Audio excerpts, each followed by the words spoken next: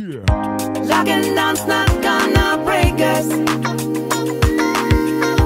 Body sweats ask for some changes. Locking down may be annoying. There's a love after lockdown. There's a love after lockdown. Yo, Clef ist back mit nem Text im Gepäck. Ich grüße meine Homies mit dem Ellbogencheck. Selbst in dieser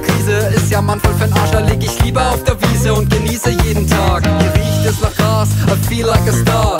Yeah, bin am Start, chilliger Beat, chilliger Part. Ich steiger mich nicht rein, genieße es frei zu sein, denn für negative Vibes hab ich echt keine Zeit. So einfach kann es sein.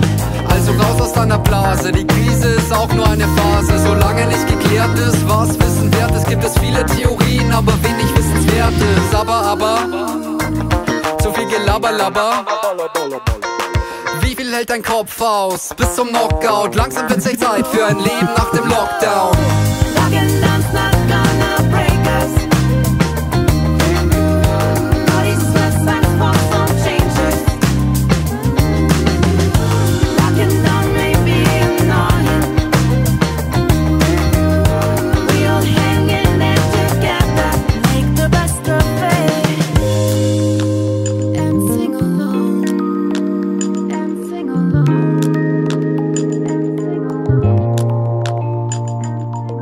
Sitze am PC mit nem Kaffee und nem Gin.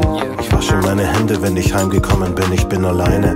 Weißt du, was ich meine? Ich habe meine Reime, doch die Welt regieren Keime.